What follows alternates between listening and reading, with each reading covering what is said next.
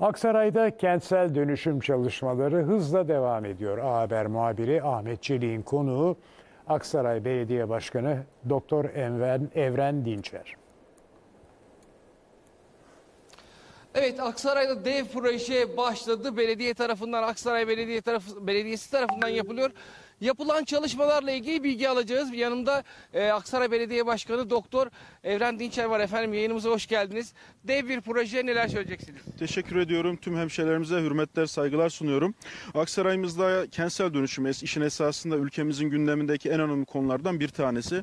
Sayın Cumhurbaşkanımızın sürekli işaret ettiği ve ülkemizin bir deprem kuşağında olması e, ve yakın zamanda 6 Şubat tarihi itibariyle de yaşamış olduğumuz bu acı tecrübe e, bizleri, belediyeleri, yerel yönetimleri bu noktada aksiyon almaya e, ve yapı stoğumuzu yeni- yenileyerekten e, ke- hem depreme daya- dayanıklı yapılar üretmek aynı zamanda e, şehirlerimizi ye- yenilemek e, mecburiyeti ortaya çıkmış bulunmakta. Aksaray'ımızda da biz bunu hızlandırmak adına merkezimizde e, Hamidiye mahallemizde valiliğimizin tam olduğu binanın e, karşı tarafında e, 700 bağımsız birimden oluşan bir kentsel dönüşüm projesi başlattık. Allah hamdolsun ihalesi de verildi.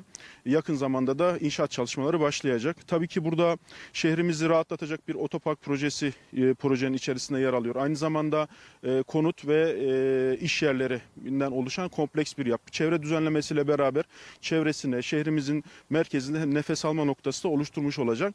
E, elbette bu yeterli mi değil. Şehrimizi yenilemek, 99 öncesi yapılan yapıların tekraren e, yenileriyle, daha güzelleriyle, konforlarıyla vatandaşımızı buluşturmak ve onları daha güzel e, yerlerde e, ikamet etmelerini sağlamak temel görevlerimiz arasında yer alıyor. Elbette e, 6 Şubat depreminden sonra hükümetimiz bu konuyla ilgili önemli adımlar attı. Yakın zamanda Çevre Şehircilik İklim Değişikliği Bakanımızın açıklamış olduğu finansman modeliyle ilgili çok önemli bir e, açıklama, e, bir proje var. Şu an e, vatandaşlarımız bundan, bundan faydalanabiliyorlar. Aynı zamanda e, kira yardımı desteği çok önemli bir faktör bu kentsel dönüşüm çalışmaları açısından. Biz Aksaray Belediyesi olarak e, bunu çok önemsiyoruz ve şehrimizin tam merkezinde, kalbinde e, önemli bir alanda bu çalışmayı başlattık. Yakın zamanda temel atma yapacağız. e, devam edecek değil mi? Elbette diğer şey, e, bölgelerimizle, mahallelerimizle ilgili çalışmaları da tamamladık. Gelecek döneme dair inşallah bunları da vatandaşlarımızla hızlı şekilde paylaşaraktan e, burada sürdürülebilirlik önemli, ekonomik olması önemli, vatandaşın bu konuyu kabullenmesi, sahiplenmesi ve destek vermesi önemli ki bizim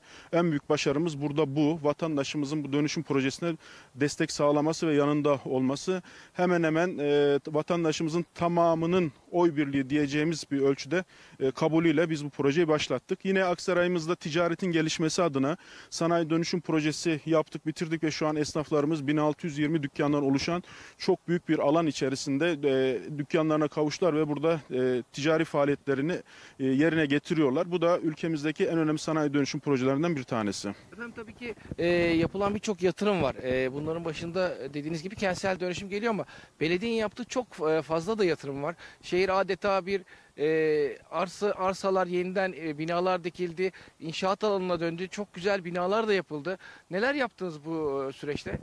Biz elbette e, hükümetimizin bu noktada vermiş olduğu teşvikler, yardımların yanında yerel idare olarak da ne tür bir inisiyatif alıp vatandaşımızın önünü açarız ve e, bu dönüşümler hızlandırızın arayışı içerisine girdik. Yine yapmış olduğumuz imardaki değişikliklerle, imar planları değişiklikleriyle bina bazlı, bölge alan bazdan öte e, onun yanında aynı zamanda bina bazlı dönüşümleri de teşvik etmek amacıyla e, düzenlemeler yaptık. Bir vatandaşımız kendi binasını dönüştürmek istiyorsa zaten hükümetimizin vermiş olduğu bir e, kredi hibe desteği var. Bundan faydalanabilir.